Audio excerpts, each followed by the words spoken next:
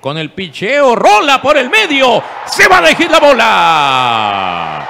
Señores, el juego se empató con el tercer hit en la noche de Esteban Quirós. Segunda producida y el error ya llegó a home.